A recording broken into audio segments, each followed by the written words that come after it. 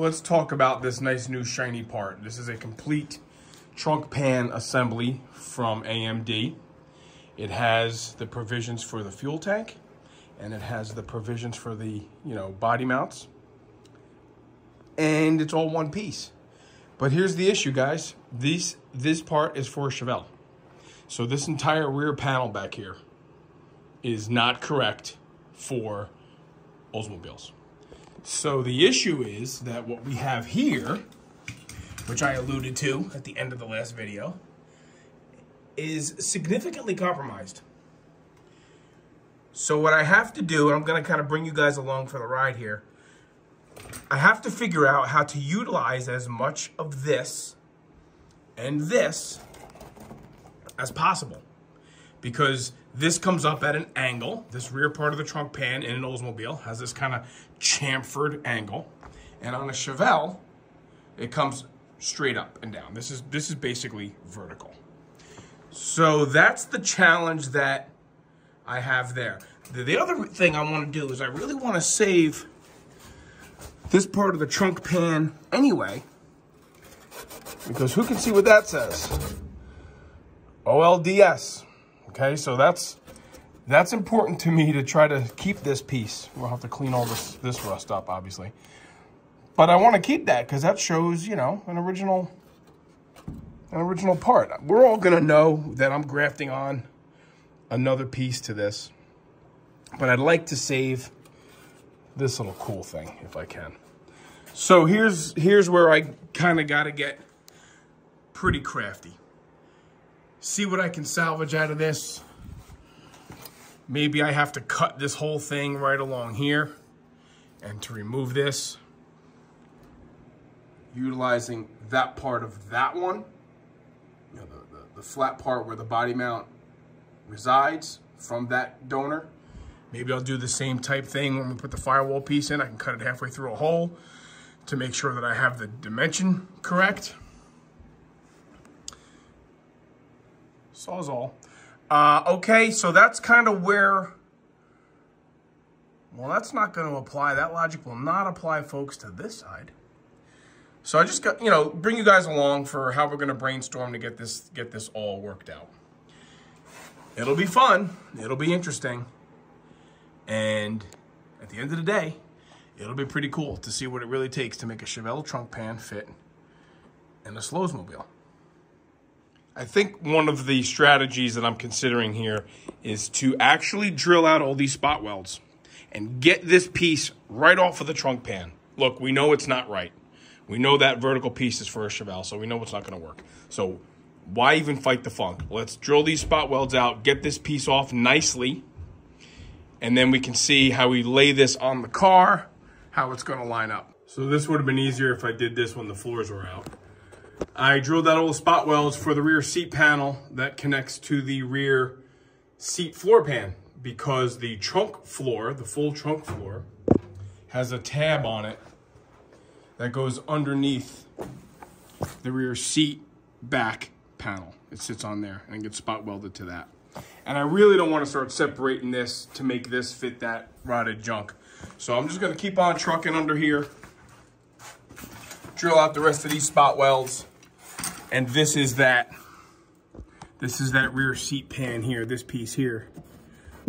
Uh, I'm gonna drill these spot welds out and just try to get this whole beam out of here. Okay, that's what I'm working on. This is what got accomplished today. I took out the front trunk floor support. It goes between the rear seat pan and it the back of the rear seat panel it sandwiches between these pieces here. And there's, I don't know, I think I counted 32 or 33 spot welds along the bottom of the trunk, uh, I'm sorry, the uh, rear seat floor pan. Because I really want the new trunk floor pan to go where it originally went. This is all I have holding the original car together. The back part of the rear seat floor and the back part of the upper rear seat. The rest of it, everybody, is pretty weak, so I really didn't want to compromise all that. That is where I am right now, and let me just show everybody what this piece looks like. This is the new trunk floor assembly. And this is the front of that. You guys can visualize that. Okay? So this tab right here is the tab that goes between the rear seat backing and the rear seat under seat floor. And this is that this is that same tab that goes there. So obviously these bases sit on top of the frame of the car. That cannot be, so it came out. It came out with a pretty significant amount of reluctancy, I might say. And, you know, you just got to keep drilling. Wore out two, maybe three spot weld drill bits and split it with a chisel and pried it apart and there you have it. Okay, that's today's that's today's progress and I'm beat. So that's that and we'll just keep on chipping away towards the back here and hopefully we can make this part look like the front part. Here I am trying to make a plan on the trunk area here of the car and I want to just talk through some of my mental strategies here for my own sake, quite honestly, and see how it see how it comes to fruition, basically. If it can come to fruition. This is the top part of the rear seat bottom. Obviously, we talked about how I had to save this piece because I didn't like how the aftermarket one, which is in my lap here, how none of these seatbelt mounts lined up. This whole thing overall is a little too narrow. So I opted to save this portion of the original car. But I beat the heck out of it getting all the spot welds drilled out. So what I think I'm gonna do is I saved the piece that I cut off here that I didn't like.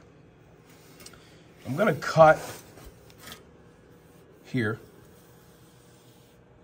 and I'll punch some holes with my, my hole punch and probably just weld it on the other side of this. A new piece welded to this to replace this piece. So at least I have a nice true mounting surface with which to mount the new trunk floor there. Okay. Onto the rear seat uh, floor. Then it only leaves me the package tray, which will need some work. I'm sorry, a rear seat divider rather, which is below the package tray. So the rear seat divider will need some work, but I can always put another top layer of tin on the inside of that, you know? And this all gets sandwiched together like this, holding the trunk floor in between. So that's step one, let's call it. Then we get into the rear wheel wells. You know, and I'm really trying to save what I can here, borderlining the automotive archaeology portion of things. You can see I've drawn a, let me put this piece down, I'm sorry. You can see I've drawn a line here where I intend to cut and each one of these will be a piece, right? So this this will be all one piece that I make. I'll put a little curl in it and try and weld on that on that rib. And then down here will be another piece stopping uh, here. Saving this, replacing all this. And then this part of the rear inner wheel well housing, I'll have to fabricate. You can see how it kind of comes in and goes down behind the trunk drop down. Yeah, there's a there's a lot of funk in here. And again, this video is as much for me as anybody else. Because as you think about things over and over again, you come up with different strategies. And I really think this is a good one. I think at this point. Okay. That'll get me, once that's all completed, it'll get me inner wheel houses repaired and this area ready to receive the trunk floor, leaving me with the balance of all this but one thing at a time, okay? I've cut off that mounting flange where the trunk floor tab sits, and then this rear seat panel behind the back seat kind of sandwiches all that together. So I've cut that off of that, I've cleaned that all up, and I've cut this piece off of the new under rear seat floor pan, the top of it. Punched my holes in it, prepped it, and this is what's gonna go. I'll show you guys how this goes together. I'll show you what I got done yesterday here. This piece is now gonna go, I kind of clean that all up. That is gonna be the only original part of the floor pan left. That's just some pitting there, but there's really no rot on this piece at this portion of it. But this piece goes um, like this. This out of the way. Okay, so now we have a nice, flat, true mounting flange for the trunk floor to sit on, and it's gonna get sandwiched in there. So I'm happy with having salvaged that part. Glad I didn't chuck it. Spot welded to that. That's going to be good. Then we'll have to work on some portions of this because it's a little bit funky. But here's what I've done to come up with a plan for working my way from front to back. I've cut out on both sides the portion of the wheelhouse, the inner wheelhouse, that the trunk floor tab spot welds to, okay? Kind of prep the wheelhouse where I'm gonna weld. I figured I'm gonna cut it right on that rib and I'll make a new panel for this, okay? And spot weld it in, both sides, nice and neat. Once that's all in, then I feel like I can work my way back to doing this piece and this piece. One Left side, right side, left side, right side. Okay, so that's what I got done yesterday. And all this stuff, piece by piece, will just be eliminated. Okay, I think Joe's got the trunk drop downs sourced and kind of on their way. We got to wait for them a little bit. Just to reiterate for a quick second, guys, uh, we do not have the trunk drop downs on order. The manufacturers have discontinued that part for 1969. So if anybody has any available that you purchased and didn't use or know someone who has some good, solid trunk drop downs, you can always contact us via email. Our email address is always in the description of our videos. They're, uh, I don't think they're in stock at the moment, but that's okay. We can we can work around that for now. So tunnel vision, right? I think I'm happy with with the solution I've come up with here maybe this afternoon, I'll start making these patches here and then we can start seeing nice new shiny metal back here.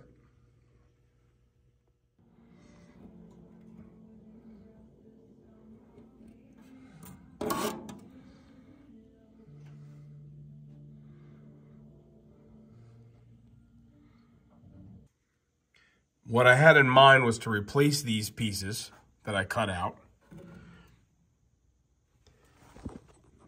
give you guys a visual of what I'm talking about here. I didn't do any video of making it. Maybe I should, maybe I'll do it in the next one. So here's a piece of the original inner rear wheel well. All those spot weld holes there are where the trunk floor pan mounts to it. This obviously could not be saved. This is, this is trash. And then what I made were these pieces. Well, that was this piece you know, left side here. So this is where it's to get welded in.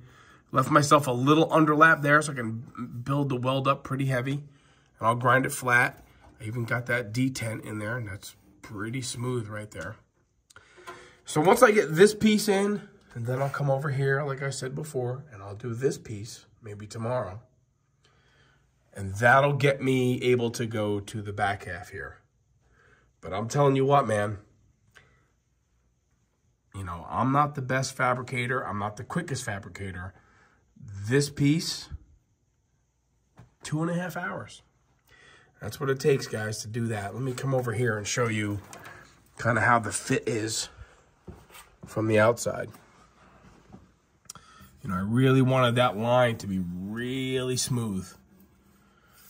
You know, this actually closes up when you push it in. You see it closes up a lot better. So this is all going to get you know, finished up because I don't want it to look like it was ever replaced. But that gives you the profile of the original wheel housing. It's a pretty, pretty ominous sight, I understand, but little by little, we'll have solid metal in here. Okay, so it, there's a good, a good pick, picture of how it fits. You know, that's that little thing right there. You know, that that's not a two second thing to do. But it's done, and that's how I'll do the other side. Okay? Not looking as ugly as it did. Keep watching. Okay, so once we do this, we go to the other side with that big cookie monster void out of there. Once those two pieces are in, I'll move to the rest of all through here. From the other side, you can see, I think I'm leaving a little bit too much editing for Joe to do. Right, there's the rear portions of the inner wheel houses. And I intend to make from a piece from there all the way down to here. One piece. So I'll have one, two, and then we'll get into that third piece. All right, the plan is to get all of this stuff together so we can get this car maybe back into, you know, a solid structure underneath and get the new trunk floor in the car to match all this, okay? Started with something like this, which was here in the inner wheelhouse. And there we have it, the new piece in, tacked in, you know, I'm just gonna keep tacking it in. But now I know that this piece and this piece are one, both sides. And I can start, now I'm gonna tack in the piece for the back seat here. And we're gonna just work our way back. We're gonna start here, get to the left and right side. Nice and systematically, guys. You know, there's no race here, obviously. But we can go from the new floors to the original part of the rear seat floor to that piece that's gonna be spot welded, the piece from the new aftermarket floor, spot welded to this. This will allow the new floor pan to get pinched in there between the rear seat panel, the divider, and the rear seat floor pan. The new trunk floor goes in that way. But obviously this is all what had to be repaired and it leaves us now with the rest of this hysteria, madness. So this will get cut out and made just like these. Once this is all spot welded in, then I'll just sit here and tacky, tacky, tacky, keep going all the way around, all the way around. But at least we're making progress. You know, I even have the, the little dent in there, you know, so, you know, for the judges at Pebble Beach. You know what I mean? Okay, progress. Love it.